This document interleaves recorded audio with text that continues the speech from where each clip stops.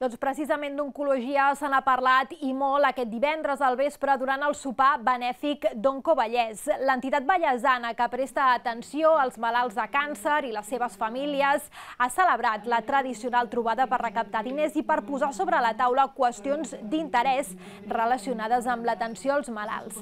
En aquesta ocasió, la taula rodona prèvia al sopar s'ha centrat en el primer any de funcionament del Centre de Radioteràpia Oncològic que hi ha a Granollers, un centre que que ja ha tractat més de 700 persones que gràcies a la seva existència s'estalvien anar diàriament a Barcelona per rebre tractament.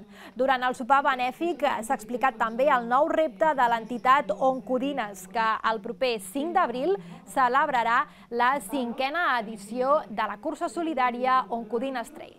En, la sede de. La mayoría de ellos vienen.